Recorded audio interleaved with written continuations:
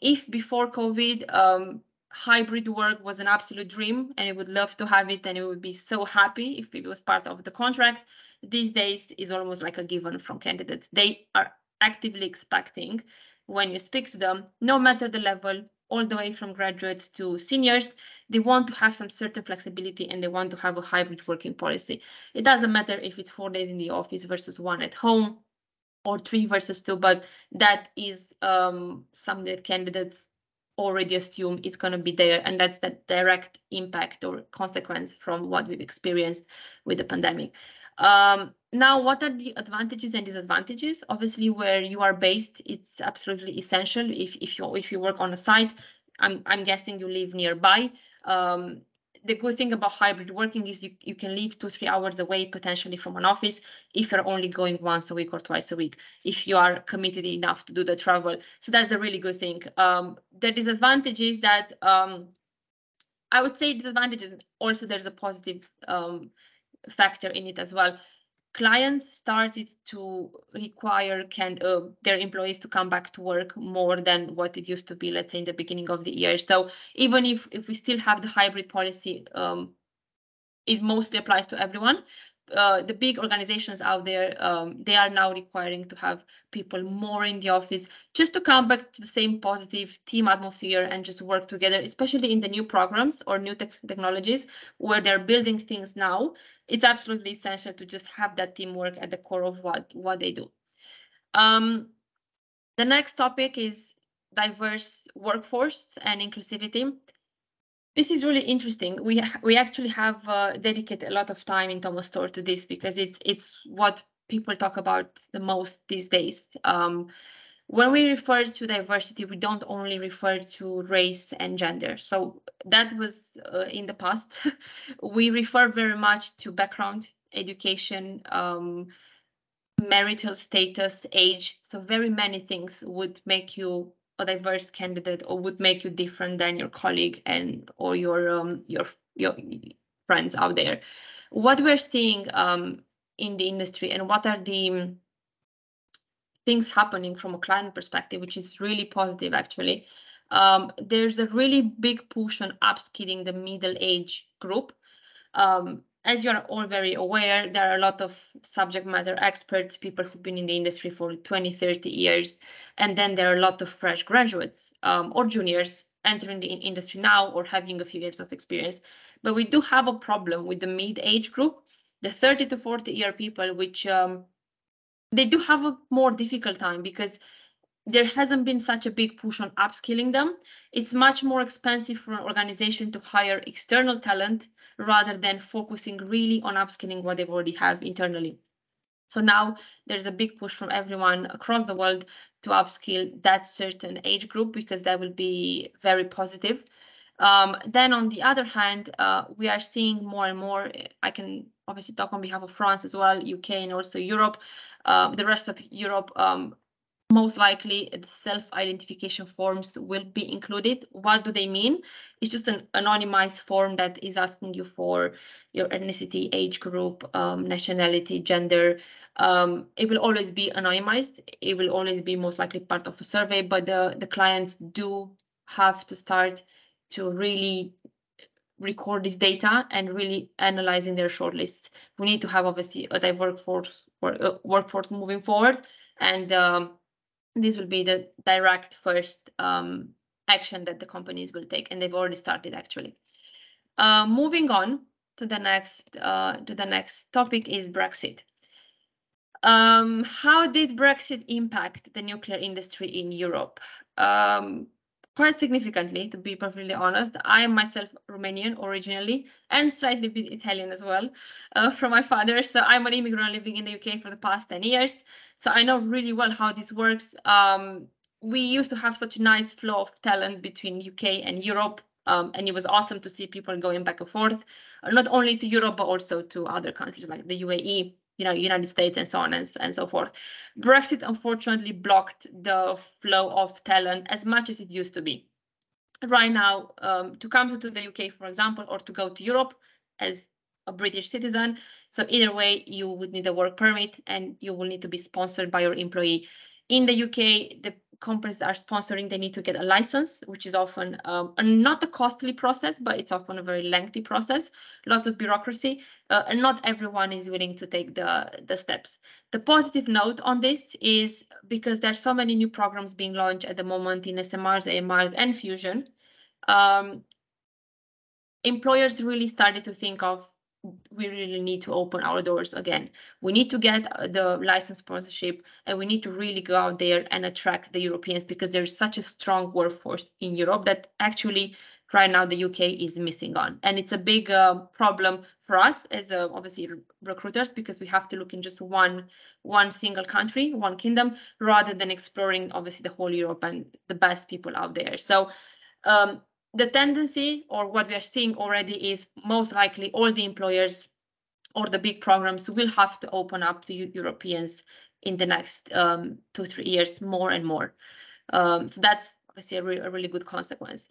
Um, the last um, thing I wanted to tackle on, um, the last two things are obviously um, how how does the market feel like at the moment? It, it, it it's a very, very candidate-driven market, I would say, meaning that there are very many um, people looking for roles, either changing their roles or entering the industry or actually shifting from other industries to nuclear. Um, it's really good for employers because they can choose from a variety of talents. Uh, for all of you who are looking for a role right now, it can be positive because there hasn't there never there never hasn't been such an opportunity for you to choose between so many programs. It's probably one of the best times to actually look for roles or start a role in the nuclear sector, but also it can be slightly more competitive. Um, if you are, let's say, a mechanical, EC&I, electrical engineer, or civil, everyone will need these people, so the competition will be much higher right now. But if you are specialized thermohydraulic or chemist or obviously nuclear physicist, then obviously your your chances will be much much higher because there are less roles, but less less people that are doing that on the market at the moment. Um, the new areas of expertise in the nuclear sector, so very particular to nuclear, is digital transformation. Uh, we are seeing more and more investment and money being put um, towards digital transformation. Right now, most of the companies have hired their top leads on this, so the managers, the directors, the program leaders, and those people will start obviously building their teams up and hiring people underneath. So if you're thinking to make a shift or if you don't know what to do in the nuclear sector, this is a really good shout. You will very much be needed and you are needed right now. Um, also configuration management goes hand in hand. It's really needed at the moment and it's a new it's an it's it's a new area of expertise that will be very trendy, let's say, moving um, forward. Um, and to wrap up our presentation, um, we've decided to include some industry observations as well. Um, there is, uh, as you all know, especially from COP27 and uh, what's happening in the world, uh, there's a growing climate and energy security debate. Um, there's a wider public acceptance and political will about nuclear energy, which is great. It does change. It, it does change things um, significantly and in a very positive way. So what does it mean actually in real life um, or in reality? There's an increasing innovation. There are a lot more governments and countries um, allocating investment towards the new programs. Um, not only the governments, but also private investors and obviously equity firms that are choosing to invest in nuclear because they think that's the right way to move forward uh, for what we need in terms of energy um, in the next few in the next few years. There are more and more advocates for nuclear from environmental activists and scientific community. I was very pleased to um, to see so many NGOs and um, small organizations out there when I was doing a bit of work for COP. It's just very nice to see that all these people that have no connection with nuclear directly are not scientists necessarily. They are just very much in the field of supporting nuclear uh, and um, making sure it goes to everyone, even to those that are against it. Even those people have have have turned in the meantime. We are we are seeing that on the market. Um, transferable skills. Um, there are a lot of people who are carrying out their expertise from other industries into the nuclear space. Ourselves, we are happy to consider people from um, conventional power uh, plant space, aerospace, rails, and defense. They're often sectors are very much um, needed and clients will be more than happy to take people from all those industries and nuclearize them. We have a saying in the UK, we can easily nuclearize the person, meaning that if you have the right experience, learning the nuclear way won't take long and uh, you will learn a lot on the job, being on the job. Um, and there's an increased interest from students to study nuclear engineering and similar degrees. It has been mentioned from, from by a couple of people already today that uh, many more people choose to study nuclear engineering and uh, other similar degrees. I've had the pleasant surprise um, a few months ago when I was at an event to see people that literally they have nothing to do with nuclear. They had a completely different career and now they just want to shift. They want to actually go and study being 40 plus year old because they really want to to step in this industry and make a difference, which is once again um, a really positive, surprising fact. Um, how I would like to wrap this up is it's really positive. There are very many changes. Um, we are living in a very good, exciting industry, but the challenge is now to take all those concrete, uh, to take all those policy aspirations and actually have concrete actions that will turn all these ideas into nuclear power plants, operating ones, and also prolong the lifetime of the existing facilities, just to make sure we will have the energy supply needed moving forward. Thank you very much. And that was us. Thank you very much, Anelia and Daria. That was very, very uh, insightful and uh, very comprehensive presentation about the trends, about the different fields, and and I think it's it's also important what you what you were saying about the uh, easily being nuclearized. Uh, we are here actually, of course, with our uh, within our nuclear bubble. Most of us here listening to are probably from the nuclear sector or interested in nuclear sector.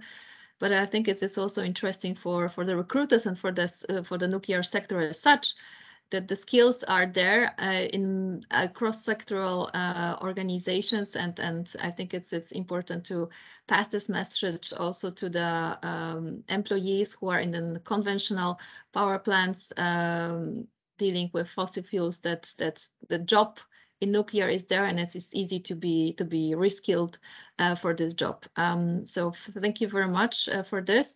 Uh, I don't see many questions. I hope for to have a bit more than than only one. Evgen Novak from from Rez, I think uh, we know each other from Rez, from Czech Republic, uh, was asking you actually how do you work? How do you process? How do you find the candidates? And uh, do you have any? Um, how do you measure also your success? Uh, so I think there are three different questions in in the chat. Um, but first, maybe uh, I wanted to to ask you. Um, about you mentioned also the incre in, uh, increased interest. Um, where does it come from? Because I I don't know if we can speak already about the nuclear renaissance, but uh, is what are the factors that are impacting now the students' uh, uh, choice actually, in your opinion? Just. I think um, seeing all these new programs being launched seeing that the government is actively supporting them, um, as well as seeing all the billionaires out there really investing their funds towards nuclear because they can invest them in anything else, right? They can go to tech, um, but the majority of them they they chose to invest in nuclear. Um, I think if I would be a student studying nuclear engineering, I would be very happy to be honest. uh, but I think I would see my career path as being really, it's really promising. Um, this is not short term this is very much long term. Um, all these new programs will still take five to ten years and then they will be decommissioned much sooner but then new smrs amrs will be built. So it's so much potential that you as a student or as a grad you are seeing yourself working i can work in smrs and mrs i can work in fusion i can work in decommissioning i can work in dry waste. There's there are so many places and it's often that people change and experience the different parts of the industry and I, we always encourage them. Don't just especially if you're a fresh starter don't set your path and say I, I just want to do smrs because they are trendy and everyone talks about them. Maybe you want to experience the different sides and maybe having a bit of decommissioning experience, for example, would really help, or the other way around. So I think it's just seeing all these actions, all these, um, even the initiatives from COP27 and the governments, what they're doing, it just tells everyone that it's the right time to start studying this uh, or get a role in the nuclear industry or change to this industry. Okay, thank you very much. Um, Efsen puts uh, one question, the second, I mean, the, which is a, bit more uh, condensed, I think. So what are the steps to use your services? Uh, how the candidates uh, or potential candidates can contact you and what is the, the process? This is, uh, I, please explain this. Thank you. Shall I answer this one maybe, Daria? Yeah, feel free. well, it's it's a two-way approach. Of course, people uh, sometimes approach us uh, directly. Uh, of course, uh, we have our contact details on one of the slides in case you would like to reach out personally.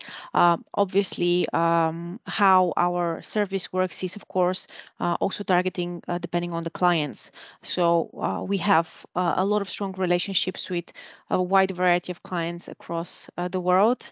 Um, of course, Daria and myself are more in Europe, but indeed we have uh, access to that network of clients, uh, but it also depends on the client need. Um, we do have sometimes the option to do like a proactive send out, um, but this is kind of depending on the expertise of the person. Um, indeed, uh, how, how we work and, and, how we do our job, uh, we, we do have obviously a wide network of, of candidates. So having, you know, like a reach out saying, hey, I'm looking for this, I'm looking for that, uh, it can only help. um, it, it cannot really hurt to say, hey, I'm looking for something to somebody who, who has a knowledge of, of a lot of jobs. Um, but indeed, of course, it depends on how we can help. Uh, if somebody uh, tells me, um, hey, I'm looking for uh, a job in Australia, if I don't have any client in Australia, that will be difficult for me to support with. But it could be sometimes that there is not really a live job or not really a job that has been advertised. Maybe it's something confidential or maybe something that um, is not officially live but we have heard about that we can maybe proactively uh, send the cv so it really depends. Um, i must say that a lot of our expert expertise is uh, uh, with more senior um, you know like senior jobs but every now and again we have also the option with uh, more uh, junior uh, positions as well. So feel free to reach out. Okay, thank you very much. That's that's also very useful to uh, to have this information. So I have also one question about the security clearance uh, to enter the nuclear jobs. Can you say uh, uh, one word within one minute because we have a short time left. Uh, sure, that really depends, uh, to be honest with you, with the level of clearance and with the country, and different countries have different levels of clearance. Uh, so in short, um, uh, they would check, for example, police records, things like that. And uh, sometimes it, your nationality could be a factor in terms of a particular country because of bilateral agreements and because of um, what the local government decides to be eligible to give access to secure information. so that really depends on case by case. Uh, on a more uh, defense-oriented project, the clearance will be usually much higher. Same goes for uh, jobs that require dealing with fuel, um, for example, uranium enrichment, these kind of roles.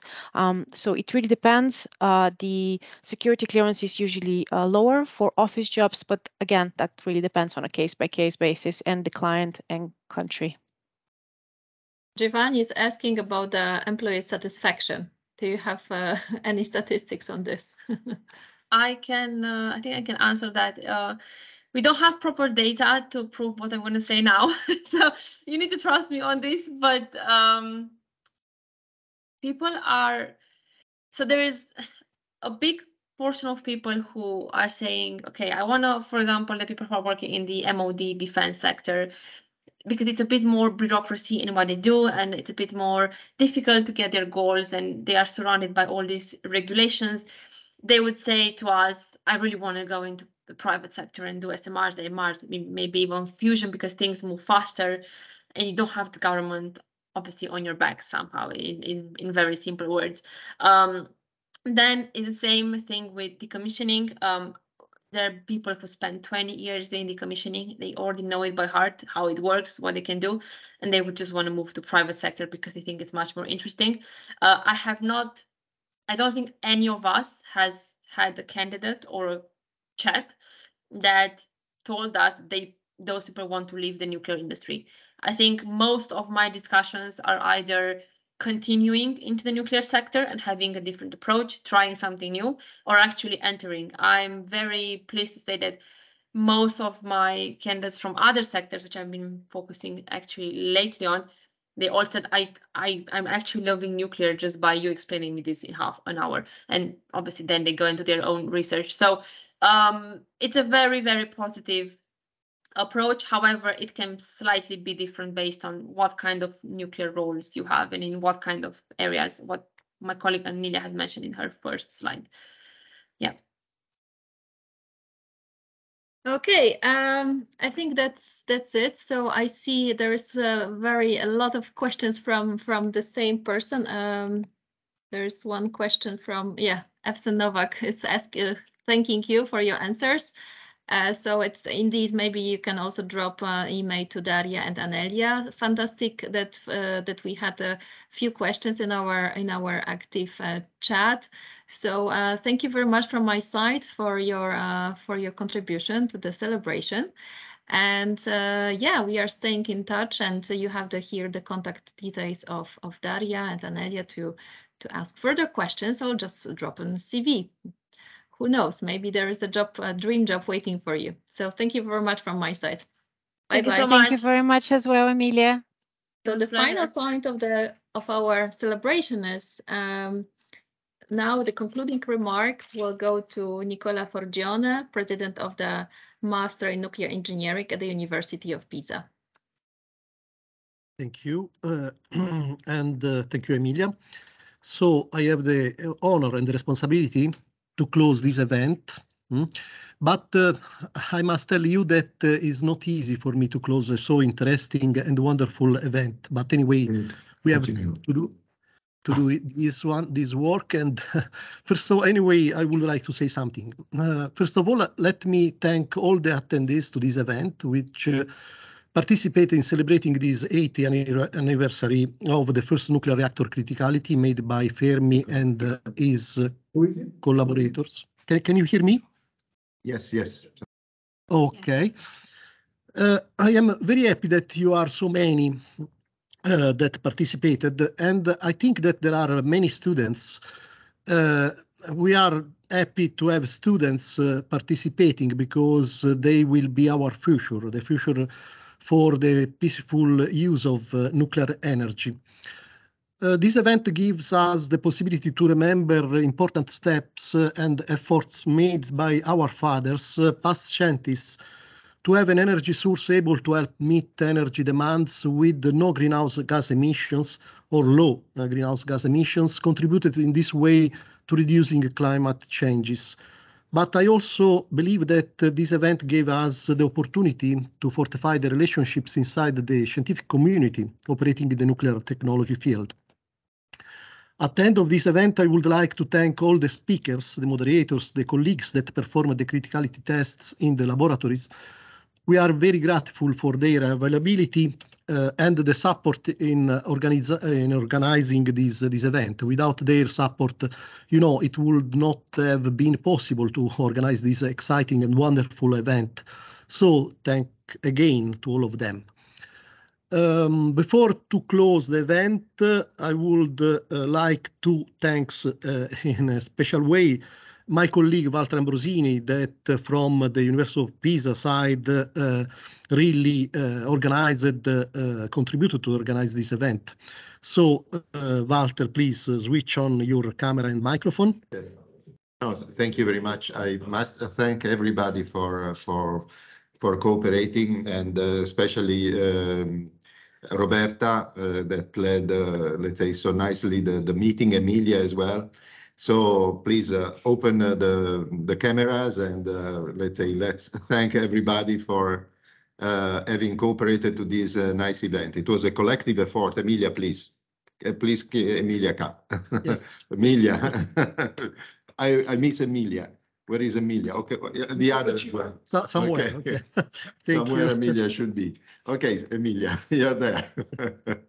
So, uh, thank you very much. It was uh, a great day, I must say that because uh, it started uh, this morning for me here in Milan with uh, the laurea honoris causa of uh, Mariano Grossi. So it was a special day, a special second of December of uh, uh, 2022. I believe that we will remind that for, for a long time. Uh, And, uh, and, uh, sorry? For 80 years. For 80 years is uh, said it is, okay, Gabriel, come here.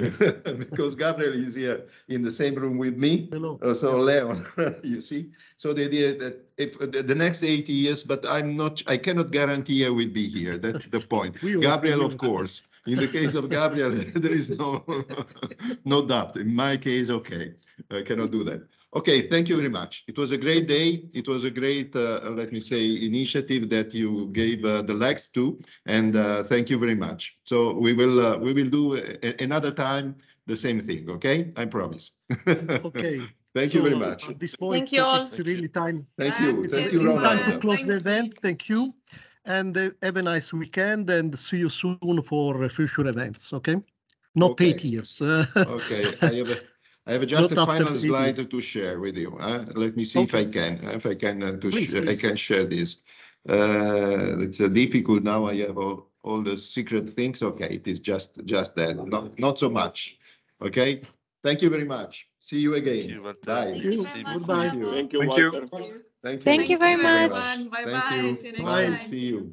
See Mille you. grazie. Grazie. Grazie, grazie